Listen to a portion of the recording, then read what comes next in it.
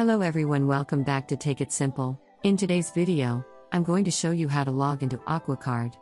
Keep watching the video till the end to learn how and subscribe to our channel by hitting the subscribe button.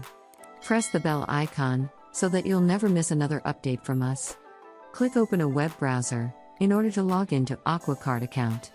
In the search box, type in www.aquacard.com and press the enter on your keyboard. As soon as you reach to the official website of Aqua, go and click on the login button at the upper right corner.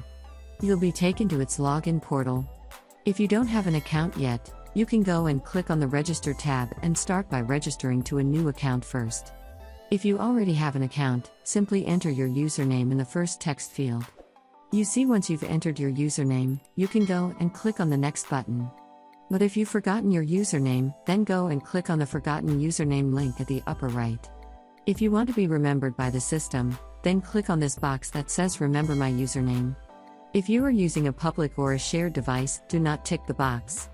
After you're done, click on the next button, and on the next page you'll be asked for your password. Enter the valid password for your account and simply click on the login button. After you do that, you'll be logged into AquaCard account in no time.